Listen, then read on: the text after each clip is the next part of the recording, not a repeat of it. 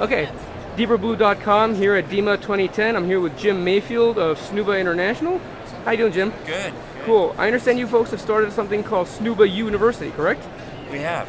Okay, I mean, tell us a little bit about that. Snuba's been around since 1988. Mm-hmm. The Snuba U started this year, and it was it was basically out of necessity. We're we're trying to grow the business, and our inability to provide staff is affecting our ability to grow. So, uh, Snuba U is a portal where professionals that are Snuba trained Mm-hmm. can apply for jobs where we're looking for guides throughout the world at our Snuba facilities.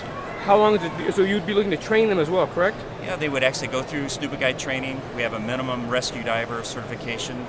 It's required as a prerequisite to go through the Snuba Guide training program. Okay. And, uh, and then we insure. We actually provide the professional liability insurance for the guides. How long? How long is the training?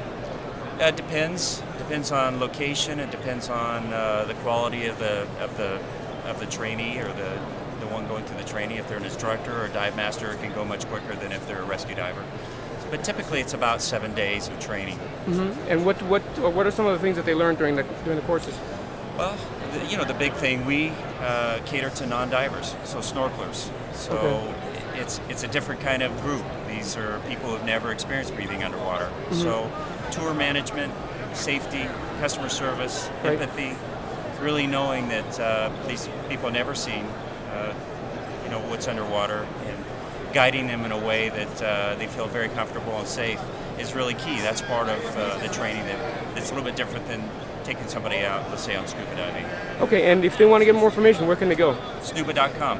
Okay. Snuba.com. There's snubau.com. Snuba, Snuba.com is a great resource t- to see everything about Snuba, Uh-huh. the world of Snuba. So Excellent. Thank you very Thanks much. very much. Enjoy the show. thank you.